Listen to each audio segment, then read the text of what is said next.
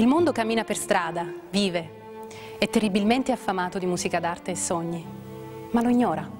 A tutti loro dedichiamo note sensoriali.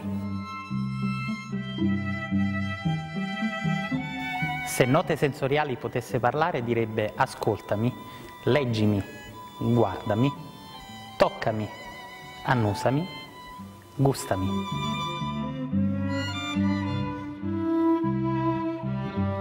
È uno spettacolo dalle atmosfere magiche, concepito come la festa dei cinque sensi. I bambini portano i ragazzi, i ragazzi portano i genitori, i genitori portano i nonni, tutti insieme portano il sogno, il sogno Mitia. Vi aspettiamo, per noi sarà un piacere conoscervi.